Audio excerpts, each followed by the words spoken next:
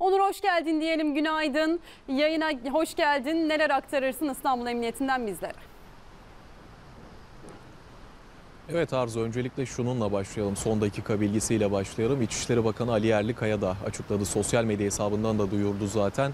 E, saldırıya ilişkin iki katil zanlısının yakalandığını ve gözaltına alındığını söyleyelim. Ve aynı şekilde düzenlenen 30 operasyon sonrasında 47 şüpheli şahsında yine aynı şekilde gözaltına alındığı bilgisini buradan izleyicilerimizle paylaşmış olalım. Peki neler yaşanmıştı? Hemen geriye dönelim ve anlatalım.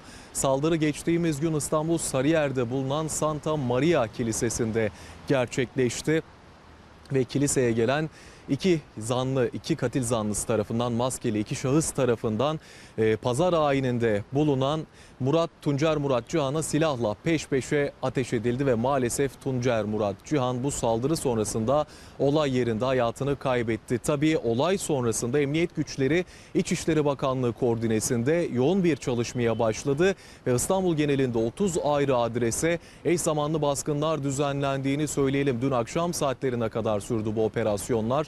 30 ayrı adrese düzenlendi ve toplamda 47 şahıs gözaltına alındı ve e, akşam saatlerinde düzenlenen en son operasyonda da iki katil zanlısının yakalanarak gözaltına alındığı bilgisini paylaşmış olalım.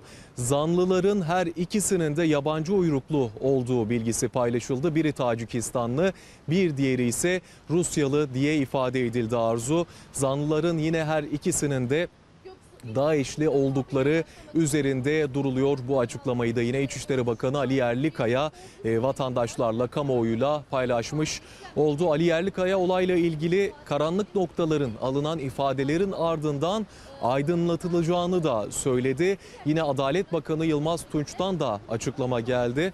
Yılmaz Tunç da zanlar ve bağlantılarına yönelik soruşturmanın çok yönlü bir şekilde süreceğini ifade etti. Herkes müsterih olsun dedi. Cumhurbaşkanı Recep Tayyip Erdoğan da saldırıya ilişkin geçtiğimiz gün yine açıklamalarda bulunmuştu. Toparlayacak olursak saldırı sonrasında düzenlenen 30 ayrı operasyonda 47 şüpheli şahsın gözaltına alındığını söyleyelim.